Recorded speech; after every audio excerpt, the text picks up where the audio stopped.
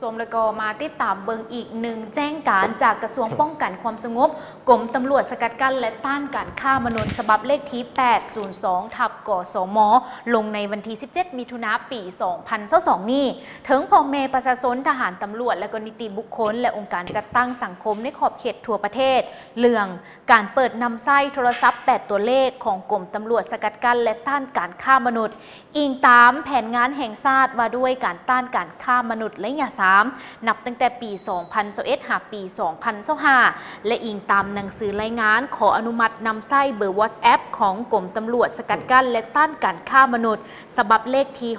693 ทับกสมลงในวันที่25พฤษภาปี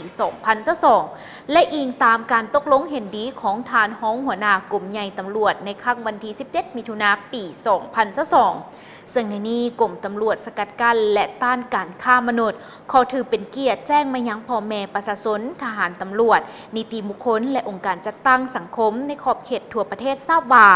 กรมตำรวจสกัดกั้นและต้านการฆ่ามนุษย์ ได้มีเบอร์สายด่วนก็คือ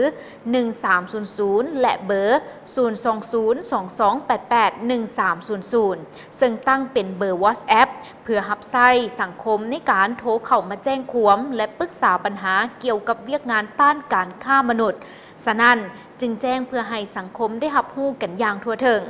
ในกรณีมีเหตุการณ์ต่างๆ เกี่ยวกับปัญหาอาชญากรรม ที่ติดพันกับปัญหาการฆ่ามนุษย์ สามารถโทรเข้าหรือส่งข้อความต่างๆ มาได้ที่เบอร์สายด่วน WhatsApp ได้ทุกเวลากันเลย นั่นก็คือ